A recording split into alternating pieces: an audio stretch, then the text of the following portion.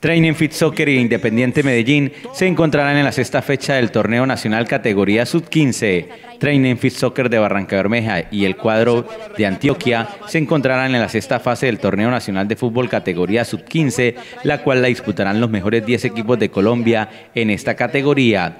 Training Fit Soccer dejó en el camino al Atlético Junior con un marcador global de 3-3, donde el juego limpio determinó la clasificación del equipo barranqueño. Por su parte, Independiente Medellín, el eliminó a Belo Horizonte de Bogotá, logrando a su favor un marcador global de 9 por 2. El partido de ida entre Training Fit Soccer e Independiente Medellín se jugará este sábado 2 de noviembre en la ciudad de Barranca Bermeja. El juego de vuelta se disputará el sábado 9 de noviembre en la ciudad de Medellín.